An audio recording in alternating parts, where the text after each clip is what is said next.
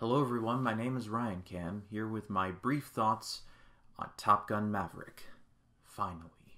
This was directed by Joseph Kosinski, who also directed Tron Legacy, Oblivion, and Only the Brave, three movies that really deserve a lot more love than they get. And this is the sequel to Top Gun from 1986. You may have heard of it. Maverick is back, this time after a snafu with, well, Maverick being Maverick. He is sent back to Top Gun as an instructor, as, well, there's a pretty big mission that has to happen, and, well, he has to train the next generation, one of them being the son of his former co pilot, Goose, rest in peace, call sign Rooster, played by Miles Teller. I love the original Top Gun. I honestly it's I don't know what I was thinking not doing a review of it leading up to this, but I love the OG Top Gun. I watched it for the first time actually in 2019 at my luxury theater in Daytona Beach. They were showing it and I was like, "You know what? I've never seen it, so I'm going to see it."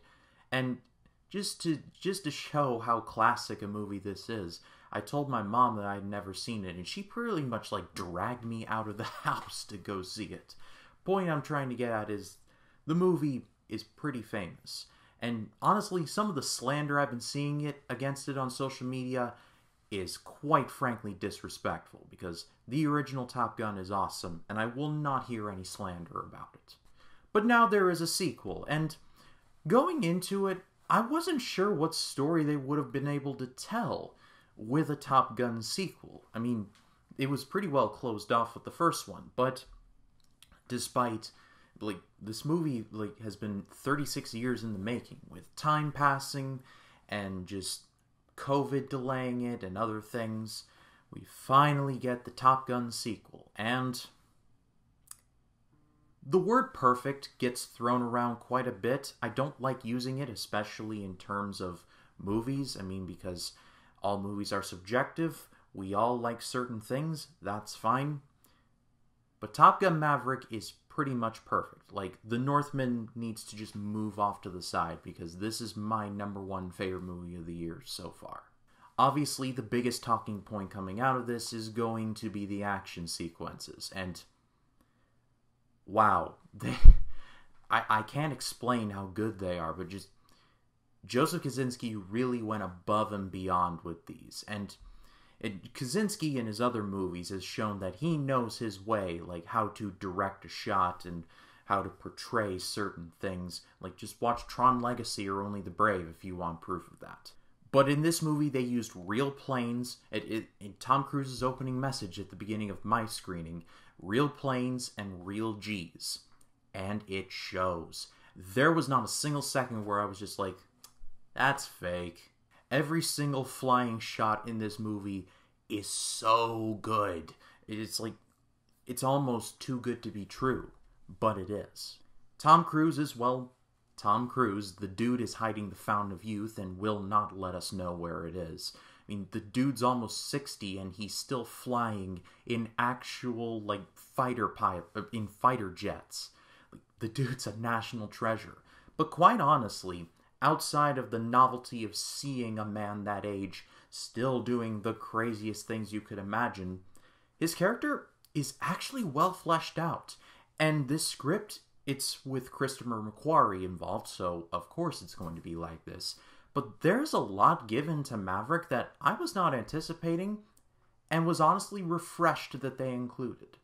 There's a storyline between him and Rooster that at first I was like, oh no, please don't do this. But again, it was handled very well. Speaking of Rooster, let's talk about Miles Teller because he's really good in here too.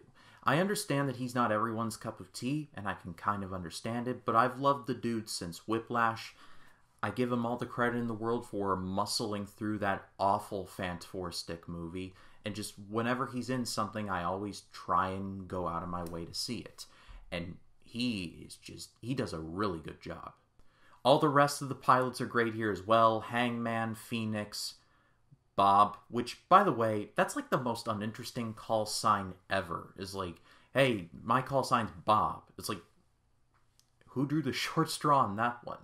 But I was surprisingly invested in all of these pilots, and I wanted them to get onto the team to do the mission. I know they all couldn't be on the team, but I was I was pulling for them, and that was something that I was not anticipating. Especially since I could recall most of their call signs by memory, so that's really cool. Jennifer Connelly is good in the movie as well. She's not in the movie super much, but I imagine that they had to have a Kelly McGillis esque character as a romantic interest, and I mean, you could do far worse than Jennifer Connelly. She's a great actress.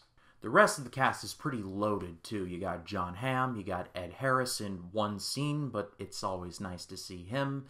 And just everyone is just acting their butts off, and it's greatly appreciated. This is legit my favorite third act of any movie that I've seen all year, and I mean that without a shred of irony or sarcasm, because this has all been leading up to this one mission, and the mission does happen. But then something happens to where I'm like, wait, this should be the end of the movie, right? And and at first I was like, is this going on too long? And no, it, it wasn't. The third act kind of kept going. And I wasn't even mad at that. It's both ama- it's both funny and both tension filled and it's so many things and it's so good.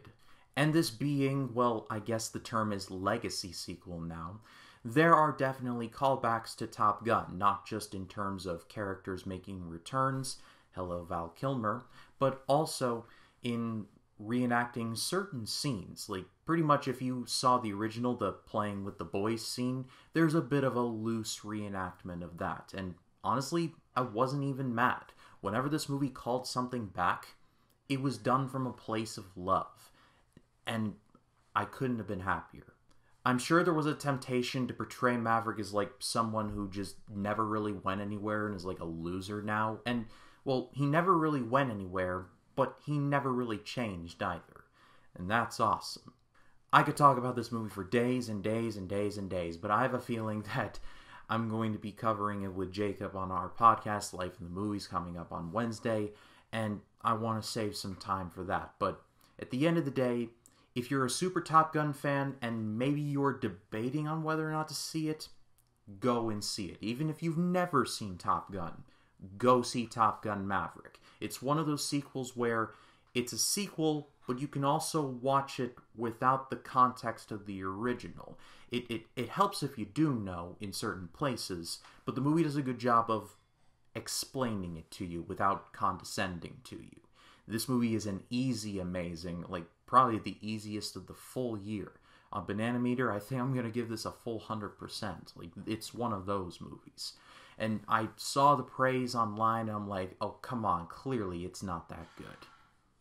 And they were right, and I apologize for doubting, because this movie is going to be one of the best of the year by a country mile.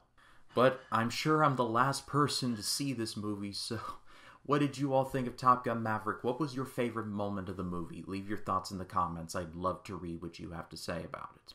For me personally, one of my favorite moments uh, outside of the third act was one scene between between Maverick and Iceman reuniting for one more time. I won't go beyond that, but it it hit me where I live. It was so well done, especially considering what we know about Val Kilmer and his bouts with cancer. It was all very well done. Let me know your favorite moment in the comments and and if you like this video, please be sure to leave a like, comment your thoughts down below, and if you like this video and you want to see more like it, hit the subscribe button and click the bell to allow notifications. That way, when a new video drops, you'll be the first to know about it. My name is Ryan Cam, and I'll see you in the next one.